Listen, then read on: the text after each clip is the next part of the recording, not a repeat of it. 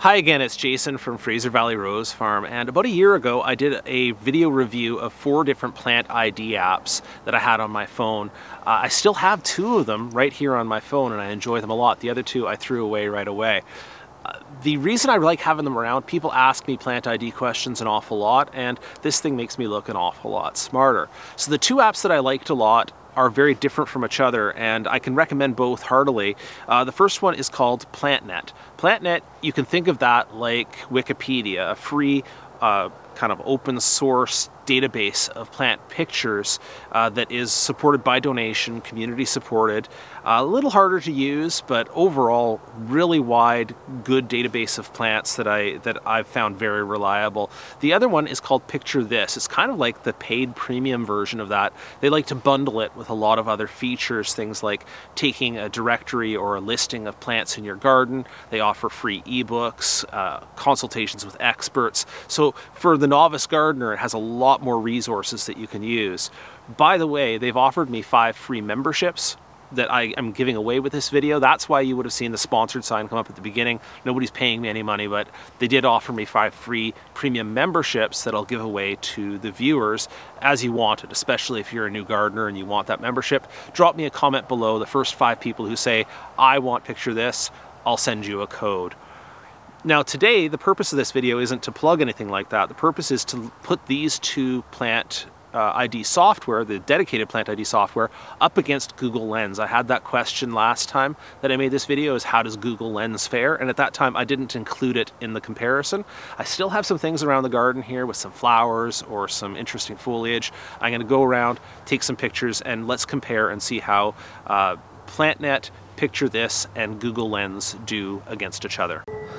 Next time I do this, I should remind myself not to wait until mid-November to start looking for plants that have flowers or interesting foliage, but I still have a thing or two around the garden that should be good for ID. Let's see how they do on this guy.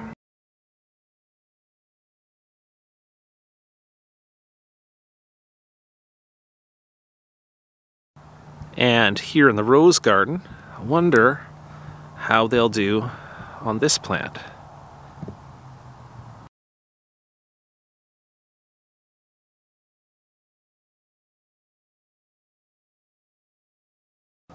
And this shrub is a little past its prime for the year, but still pretty distinctive. Let's see how they do on this one.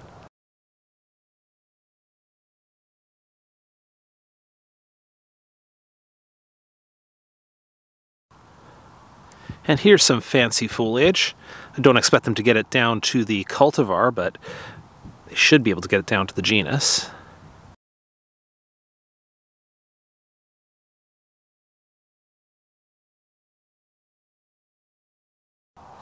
This one is a bit of a weed in our area, but you know what? I think I may keep it anyway. It has really tall, beautiful flowers. Let's see if the Plant ID apps can get that one.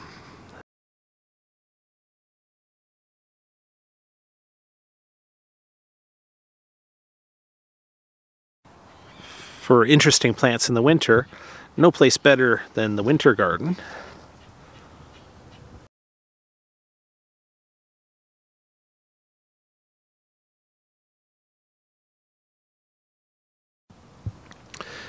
And another one they should be able to get just from foliage.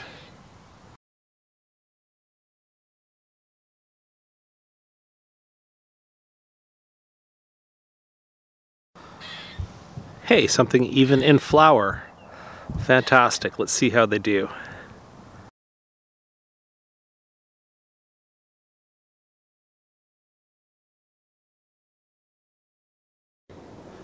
And how about this one, just from the bare stems and the fruit?